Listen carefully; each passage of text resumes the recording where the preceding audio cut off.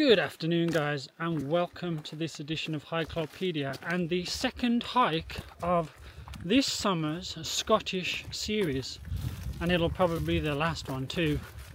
Um, today you find me at a mountain that I don't know how to pronounce. I think it's Schiehallion but I could be completely wrong and uh, we've just started it's Everest and I again and as usual he doesn't want to be in the video. So you probably just see fleeting glimpses of him. But uh, yeah. We're on our way to our second Munro of the trip. And this one has a little bit of special history scientific history to it which I'll tell you about a bit later. But in the meantime let's go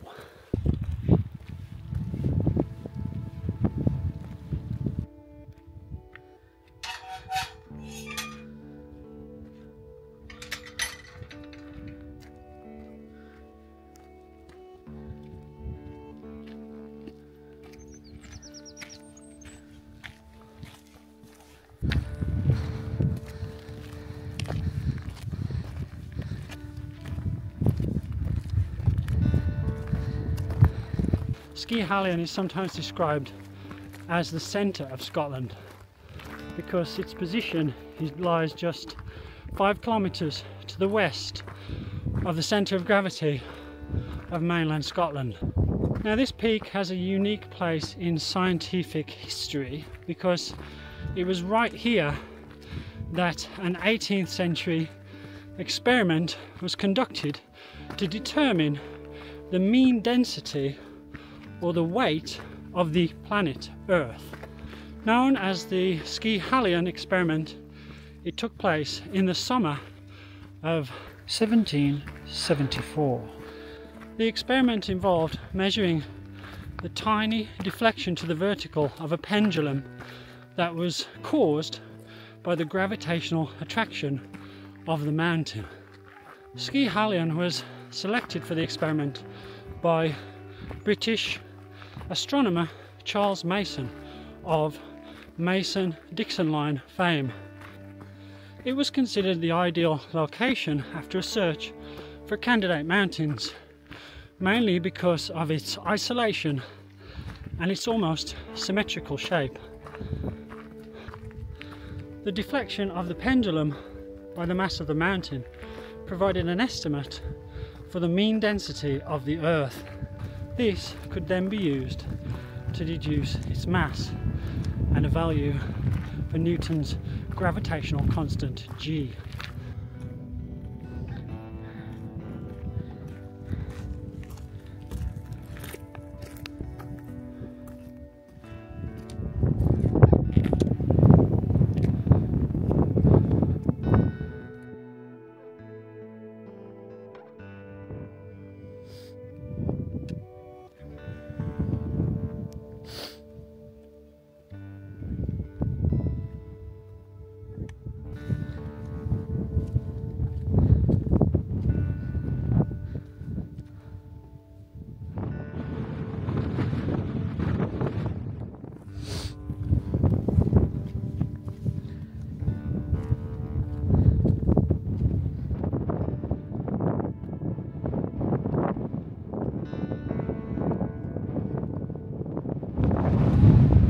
wind is back.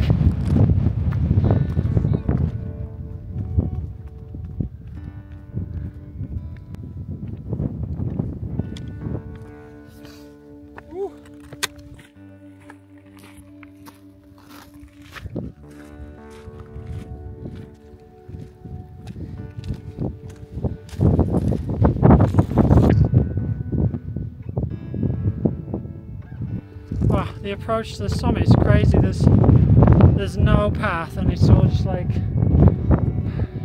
stones, big stones you gotta step over and uh, just gotta be careful. Thankfully they're not slippy but uh, it's quite tough going.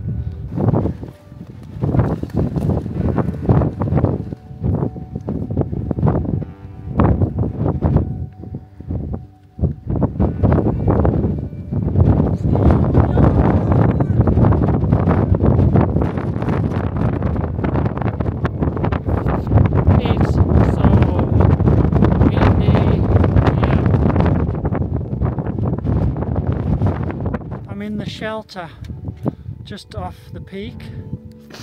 And uh, yeah we made it. Schiehallion the last 20 minutes or so is pretty tough scrambling over all the rocks. And it's way too windy and too cold to stay on the summit. So we're basically heading straight back down. But uh, yeah uh, nice second Munro of the Scotland trip. Ski or Schiehallion it's 340 so we've still actually got six hours of daylight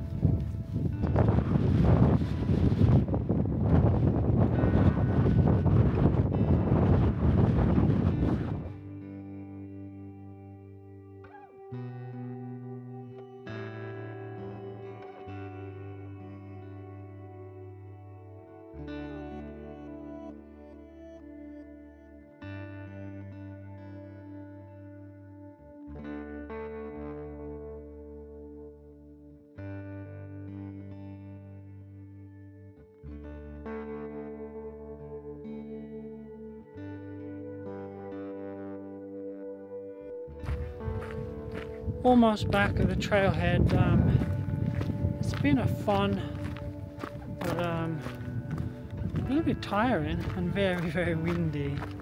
Um, let's have a look how far we've got to go back now.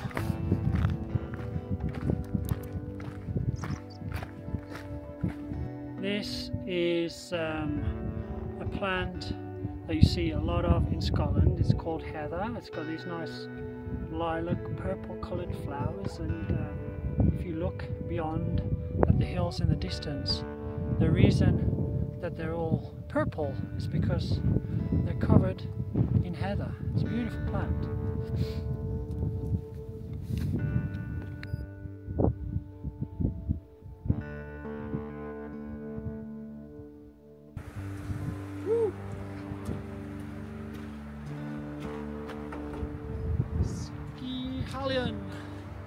Finished.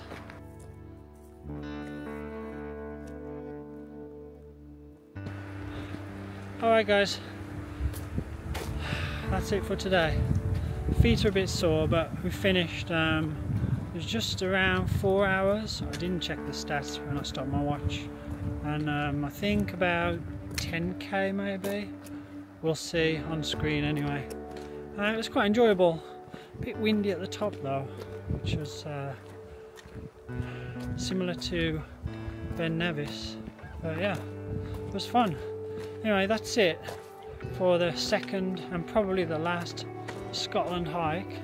If you enjoyed it, then uh, don't forget to uh, give me a like, subscribe, and uh, hit the bell for notifications. If you want to help support the channel, you know the drill by now. It's uh, super thanks down below. Buy me a coffee, or consider becoming a channel member for early access to videos and I'm going to start um, uploading some behind the scenes footage from my uh, adventures and that'll be available to members too. Alright, and that's it for now. On to the next adventure. Take care. See you soon. Over and out.